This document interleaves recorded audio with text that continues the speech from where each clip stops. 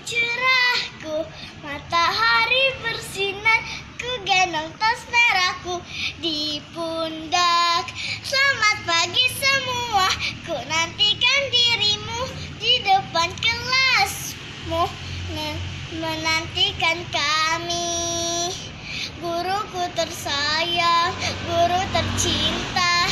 Tanpamu apa jadinya aku?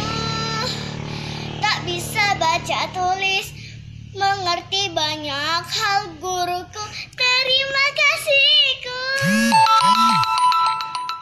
Nyatanya diriku Kadang buatmu marah Namun segala maaf Kau berikan. Sarangnya